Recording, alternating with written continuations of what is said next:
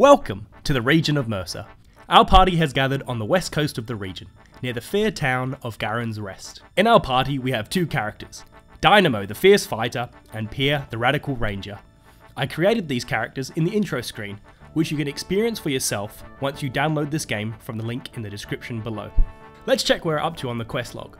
Oh, that's right, we have to find the Earl's daughter. She's been captured by bandits. If you ever get stuck in your playthroughs, don't forget to check out the help buttons for information on how the maps work, questing works, and how the battle mechanics work.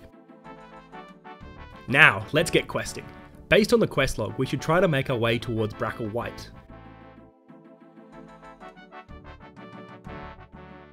Oh no, our first battle.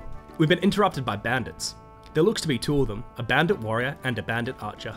Let's roll initiative to see who goes first. The battle mechanics in Mercer are D&D light, meaning that outcomes are based on the character stats, the enemy stats, and random dice roll. For more info, check out the help and info buttons. We now need to choose our targets and our movement. We need to get our fighter within range, but keep our ranger at a distance. First up it's the fighter, who moves forward 6 meters, rolls a successful attack turn and hits for 5 damage.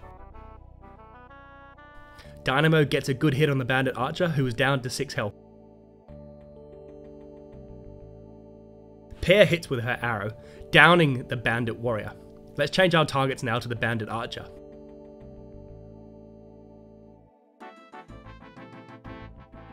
Ah, oh, that was a clutch shot there by Pear, who takes down the archer, and that marks our first successful battle, where we get some good XP. I'm a little bit worried about Pear's health, so let's head back to Garen's Rest and restore our HP. Another battle, this time it's some goblins. Now let's split our targets, get Dynamo running in and Pear shooting from a distance. That is some good initiative rolls. Pear is up first. Pear gets the first hit in, taking out the second Goblin Warrior with a clutch arrow. Let's change her target to the other Goblin. The Goblin gets a good hit away on Dynamo. Whoops, our party seems to be getting quite weak on health now. Dynamo with a dodgy miss. Pear with a miss as well, not good, not good. Another strong hit on Dynamo. We can only survive one more of these hits. And that's Pear again with the finishing blow. Another victory and a good opportunity to rest up. Let's head out again and get to Brackle White this time. Another group of goblins. A bigger range this time, they're at quite a distance. Right, there's our initiative roll. We need Pear to move this time so that she can get within range of her longbow.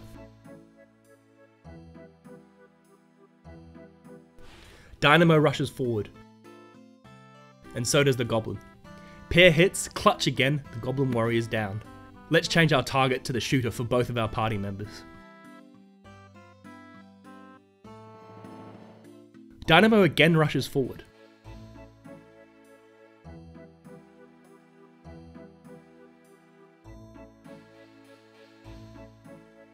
Again, down goes the shooter, and that is our third victory.